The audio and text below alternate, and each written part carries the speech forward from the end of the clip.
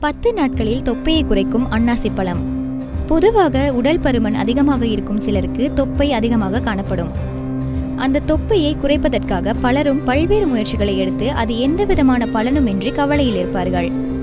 உங்களின் தொப்பையை பத்து நாட்களிலேயே குறைத்து ஸ்லிம்மான உடலை பெறுவதற்கு தினமும் அன்னாசி பழத்தை சாப்பிடுங்கள். அன்னாசி பழத்தின் நன்மைகள். அன்னாசி பழத்தில் பொட்டாசியம் கல்சியம் மேங்கனீஸ் மற்றும் மினரல் போன்ற உடலுக்கு ஆரோக்கியமான முக்கிய சத்துக்கள் அதிகமாக நிறைந்துள்ளது. அன்னாசி பழத்தில் உள்ள மினரல் சத்துக்கள் நம் உடலில் ஏற்படும் வளர்ச்சிதை மாற்றத்தில் முக்கிய பங்கு வகிக்கிறது. மேலும் இதயம் தொடர்பான பிரச்சனைகள் வராமல் பாதுகாக்கிறது. அன்னாசியில் கொழுப்பு சத்துக்கள் குறைவாகவும் நார் சத்துக்கள் அதிகமாகவும் இருப்பதால் இவை பித்தக் கோளாறுகள் ஜீரணக் கோளாறுகள் உடலில் ஏற்படும் வீக்கம் தொப்பை குறைத்தல் போன்ற பல பிரச்சனைகளை அன்னாசி பழமானது தீர்த்து வைக்கின்றது. தொப்பையை குறைக்கும் முறை.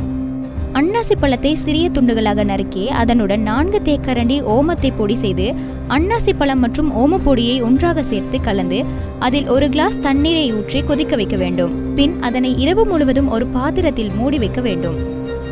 மறுநாள் காலையில் அதை வடிகட்டி அதனுடைய சாறை எடுத்து வெறும் வயிற்றில் குடிக்க வேண்டும். இந்த முறையை தினமும் காலையில் பத்து நாட்கள் தொடர்ந்து குடித்து வந்தால் தொப்பை விரைவில் குறைந்து காணப்படும். மிளகு ரசம் செய்யும் போது அதில் அன்னாசி துண்டுகளை சேர்த்து செய்ய வேண்டும்.